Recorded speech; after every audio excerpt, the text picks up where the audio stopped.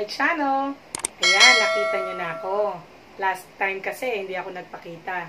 This time, eto ako sa panibagong topic. Our topic for today is about the slope of a line. Let us define the slope. Slope of a line is the inclination of the line. It is the vertical change over the horizontal change, or the rise over run. Now, in this graph, let me show you the slope. This is a line graph, and you have to know where the y-intercept is. The y-intercept is this point. So that is 0, negative 1, negative 2, negative 3, negative 4. So that is 0, negative 4. Okay, that is the y-intercept. So, what you're going to do is to follow the rise over run. So, from the point of y-intercept, you go up. 1, 2, 3, 4. That is rise. And then you go to the right. 1, 2, 3. That is the run. Therefore, our slope is 4 over 3. This one is another type of slope. So you are going to look at the y-intercept. Our y-intercept is 1, 2, 3. So that is 0, 3. Now what will be our slope? So from the point of y-intercept, we go down. 1, 2, 3. And then 1, 2. Now, in going down, that means that is negative. So therefore, our slope is negative 3 over 2. In the slope that is rise over run, rise doesn't always mean going up. It also means going down. So if you are going up, that means that is positive. And if you're going down, that means it is negative. Now, if you are given two points, this is our formula. m is equal to y sub 2 minus y sub 1 over x sub 2 minus x sub 1. So let us try to solve the slope.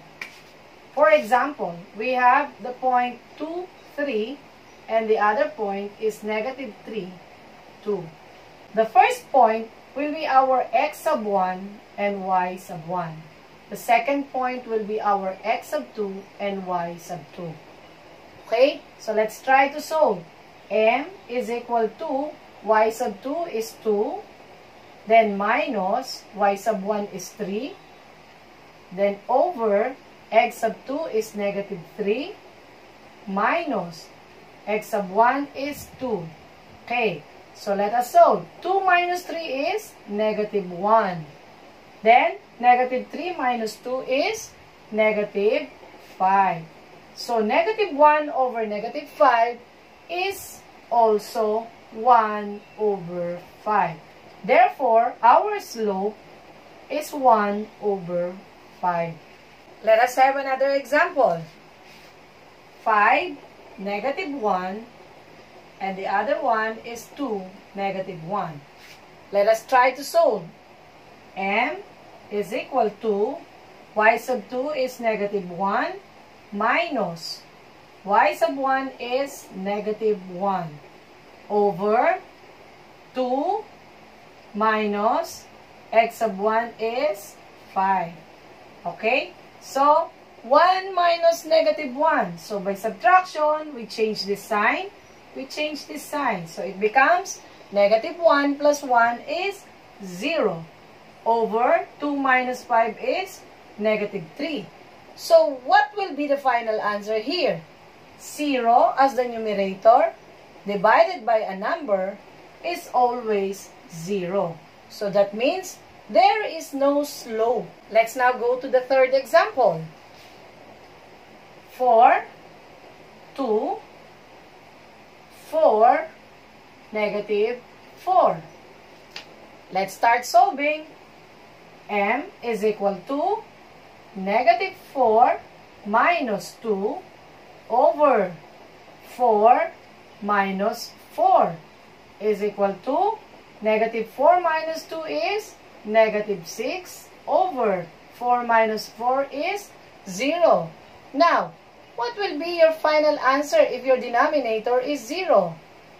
It is called undefined. Let's have the last example. Okay, so we have 5, 2, and 6, 1. Okay, let's solve. m is equal to 1 minus 2 over 6 minus 5. So, 1 minus 2 is negative 1. 6 minus 5 is 1. Therefore, our final answer is negative 1. So, our slope is negative 1. Now, we have four different kinds of slope. The first one is the positive slope. The second one is the zero slope. The third one is the undefined slope. And the last one is the negative slope. In this lesson, there are three things that we have learned. The first one is you have learned how to identify a slope in a graph. The second one, how to solve a slope given two points. And the third one is the four different kinds of slope. We still have a lot of things to learn about slope. So till our next video, bye for now!